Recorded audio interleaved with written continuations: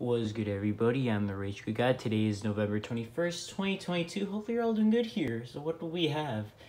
The Let Them Know stuff is here. Alright. The field favorite. Okay.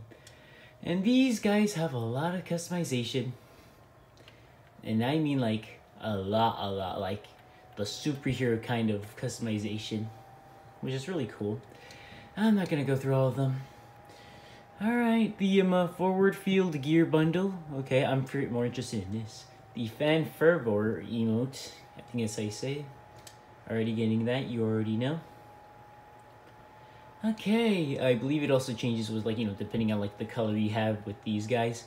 These soccer skins are back, okay. This stuff is back. What about the other soccer skins, like the, uh, the club soccer skins? What happened to those? Okay, Tender for Defender is back. Kyra's bundle is back with that 8 style. Um, Marked Man bundle, okay. Slingshot, Victory Lap, okay. The Asmodeus uh, skin, okay, these guys need a bundle, by the way. The Castillo, Callisto skin, I, I can say that, sorry. It's been a long day.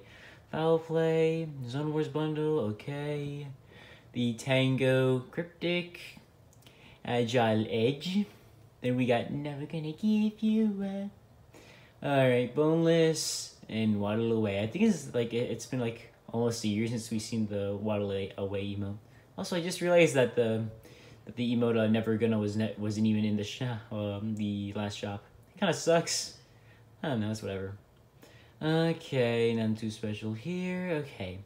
Hopefully you guys enjoyed though. If you did, let me know if you like. Comment down below, chat about the shop, and some follow for daily content. Have a good one, everyone. I'll see y'all around.